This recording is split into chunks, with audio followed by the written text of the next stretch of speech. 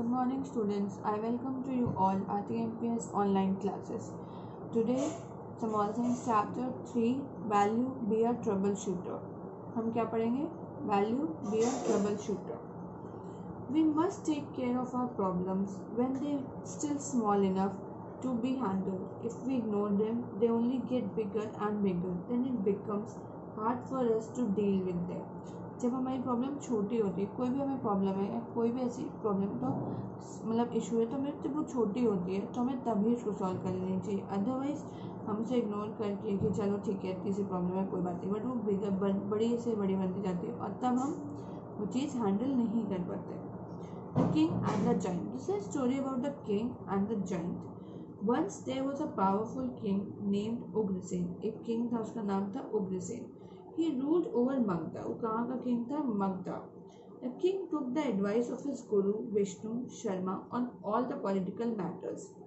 वो अपने गुरु विष्णु शर्मा से सारी एडवाइस लेते थे। मतलब कोई भी डिसीज़न लेना होता था, उसके पहले वो विष्णु शर्मा विष्णु अपने गुरु विष्णु शर्मा से एडवाइस थे।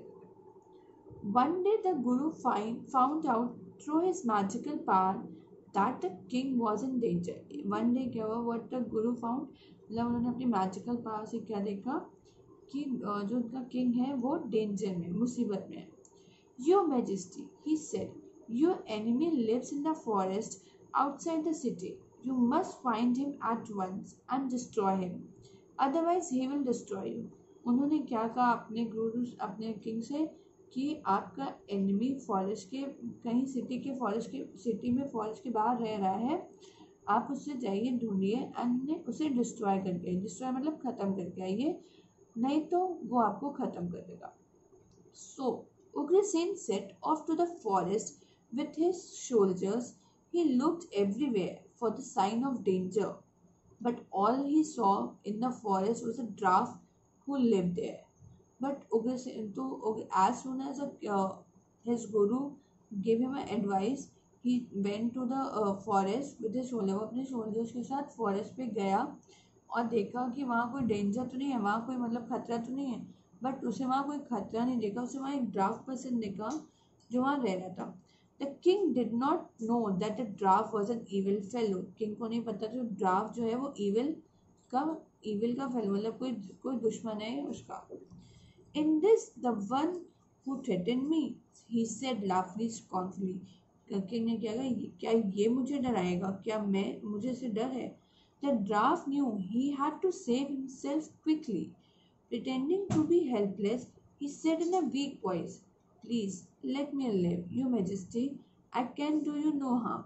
Dwarf को पता था कि उसे अपने आप को बचाना है तो इसलिए वो बहुत हेल्पलेस मतलब बहुत अपने आप को कमज़ोर समझ के बोलने लगा प्लीज़ लेट मी लिव आप मुझे प्लीज़ ज़िंदा रहने दीजिए. मैं आपको कोई हार्म नहीं करूँगा. I hereby grant you your life, replied the king and went away home. King ने क्या किया? ठीक है मैं आपको अगर तुम मुझे कोई चोट नहीं बचाओगे तो मैं तुम्हें तुम्हारी लाइफ देता हूँ और वो घर चले गए but Vishnu Sharma was not happy when he heard about this but when his guru heard about this that the king left left the dwarf person तो ही वॉज़ नॉट हैप्पी वो happy नहीं थे. You should have got rid of him he said to Ugrasen तुम्हें उसे जरूर कुछ ना कुछ उसका कुछ करना चाहिए था A few months later, he again persuaded the king to tackle his enemy before it was too late.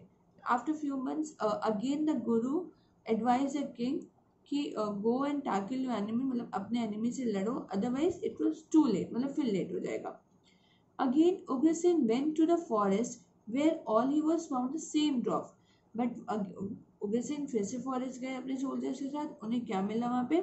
वही same person the dwarf seem to have grown in size but Ugrasen left him alone and return home but जब इस time वो king गए थे तो उन्होंने क्या देखा कि ड्राफ्ट थोड़ा बड़ा हो रहा है बड़ा हो रहा है। और उससे वो अकेला छोड़ के चले आए। This went on for some time और ये ऐसे कुछ चलता रहा, कुछ टाइम तक। Every time Ugrasen came back from the forest He told Vishnu Sharma same thing. He is a grown a little bigger, but he cannot harm me, so I have let him go. But जब जब वो forest जाते थे और वो वापस आते थे तो विष्णु शर्मा से वो अपने गुरु से यही कहते थे कि बस वो बड़ा होता जा रहा है बट वो मुझे कभी हार्म नहीं करता इसीलिए मैंने उसे छोड़ दिया Each time Vishnu Sharma was upset and angry, but he could not convince the king of the danger that he was in. But हर टाइम विष्णु शर्मा जब जब किंग वापस आके विष्णु शर्मा अपने गुरु को बताते थे कि आई लेट हिम गो तो he was very upset and angry but वो किंग को कन्विंस नहीं कर पाए कि नहीं, आप टेंशन में हो। अल ईयर सो लेटर कुछ साल बाद Ugrasen and his entire army were defeated by a mighty giant when they were passing through the forest. क्या हुआ? कुछ साल बाद उग्रसेन और उसकी आर्मी को किसी ने हरा दिया था। एक जाइंट था जो जाइंट आई टोल्ड यू कि बड़ा एक बड़ा सा शैतान होता है, ठीक है? और जो, जब वो फॉरेस्ट से पास हो रहा था the giant took over Magadha and banish the king to the forest giant ने क्या किया? मगधा मगदा में मगधा को भी टुक ओवर कर लिया मतलब अपने उसमें कर लिया एंड किंग को पूरा किंग को और फॉरेस्ट को सबको बैनिश कर लिया. It was then that Ugrasen realise the wisdom of Vishnu Sharma words तभी उग्रसेन को अपने गुरु गुरु के वर्ड्स के वर्ड्स याद आए. For the giant was none than the other dwarf whom he had spade और वो जाइंट कोई और नहीं वही ड्राफ्ट पर्सन था जो जिसको इसने बहुत जिन्हों जिसको किंग ने बहुत बार छोड़ा था सो द जिस्ट ऑफ़ तो स्टोरी की क्या जिस्ट मतलब क्या what we learn that the king should have taken care of his problem when it was still, still small and could have been handled easily. तो king को क्या realise हुआ कि when the problem was too small जब giant छोटा था तभी उसे ये प्रॉब्लम सॉल्व कर लेनी चाहिए थी और ईजिली हैंडल हो जाती। अब तो टू लेट हो गया एंड ओग्रसेन मतलब the king army defeated and he lost his kingdom everything तो this is all about children today I hope you enjoy thank you